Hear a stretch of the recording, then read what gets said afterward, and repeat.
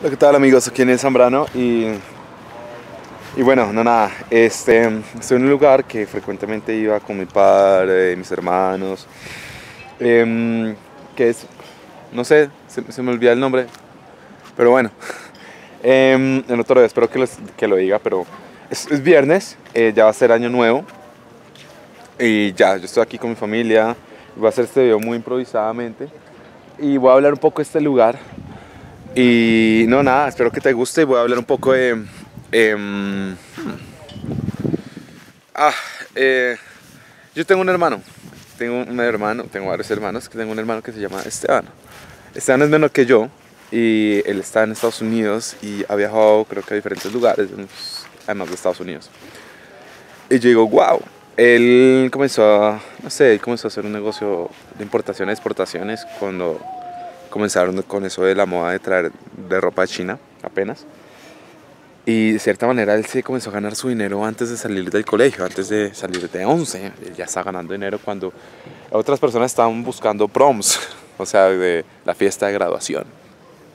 Y es algo muy interesante tener a un, menor, un hermano menor que de cierta manera tenga un éxito más rápido en lo económico.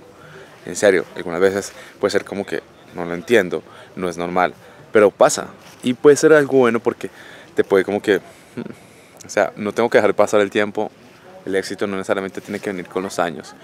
Em, y no, nada, eso es lo que estaba pensando porque en este lugar eh, nosotros veníamos, él no está acá, pues está en Estados Unidos y ya. Eh, estaba pensando en eso, estaba pensando en, en cómo él ha podido avanzar más, más rápido y cómo pues yo he logrado avanzar. Y yo digo, o sea, Daniel que había venido aquí hace unos años atrás había, al comparado al de hoy, yo me imaginaba, o sea, he avanzado, te lo digo, para mí un montón, muchísimo, muchísimo. Pero yo digo, me falta un montón de camino, o sea, comparado con otras personas, mentores, amigos, un hermano, está en Estados Unidos, que puede vivir por su cuenta, que es menor que yo, y yo, que todavía estoy viviendo con mi mamá, y bueno, dame, dame estos paseos Em, por cuenta de mis padres. Digo, wow, o sea, estás teniendo, afortunadamente, pudiendo ayudar a mucha gente y tú a la hora de ayudar, pues también te ayudan.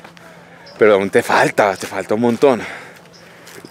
Y, no, es cuestión de estar reflexionando eso. Y, y sí, cuesta aceptarlo. Hay gente como que, que pueda comenzar más rápido. Y, y tú me vas a comprender si tienes un hermano menor un hermano mayor, que supuestamente el mayor tiene que ser el mejor en todo, pero no necesariamente es así. Y es interesantísimo porque es una cuestión de humildad y saber que uno no sabe muchas cosas. Y, y ya, eso es lo que quería compartir. Eso es lo que me trae esos recuerdos a este lugar. Eh, esquí, esquí, hicimos wakeboard, esquí en el agua, como se llame. Hace alrededor, te lo juro, hace siete años aproximadamente no esquiaba. Y digo, wow, muy chévere, muy chévere. Y una cosa, yo tengo un hermano menor que tiene 12 años, 3, no sé, qué pena Juli, no sé cuántos años tienes, 14. Em, y lo que pasaba es que nosotros, y esto va muy ligado a, la, a compararse con otros hermanos, digamos, su propio proceso. Mis hermanos mayores, menores y yo, más contemporáneos, Juli no es tan contemporáneo a nosotros, íbamos al Nilo, cerca de Girardot, va una vez, dos veces al año y comenzamos a esquiar, pero nosotros comenzamos a esquiar primero acostados en una tabla, segundo arrollados en una tabla, tercero con dos esquís pegados, cuarto en wakeboard, después quinto en esquí separado completamente y duramos en esas como literal como unos dos, tres años aprendiendo a esquiar. Mi hermano menor, como hace rato, él era la primera vez que esquiaba y nosotros era la primera vez que yo esquiaba hace 10 años, 8 años y él nunca había esquiado, 10 años literal. Y yo pensé, me va a ir muy mal, pero la disfruté. Fue como montar en bicicleta, como que no, como algo que ya estaba adentro, ya, ¡pum! Listo. Él esperaba que fuera así. Él esperaba que, como igual que sus hermanos, él, él hiciera lo mismo. Pero se frustró porque naturalmente tú no vas a montar bicicleta de una vez así. ¡Pum! Y se caía, se caía, se caía, se caía, se caía. ¿Qué es lo que pasa? Un hermano menor va a intentar como que, bueno, tienes las mismas aspiraciones, pero no va a ver todo lo que ha vivido una, otra persona, tal vez un hermano mayor atrás, todo. Y, y uno se puede frustrar.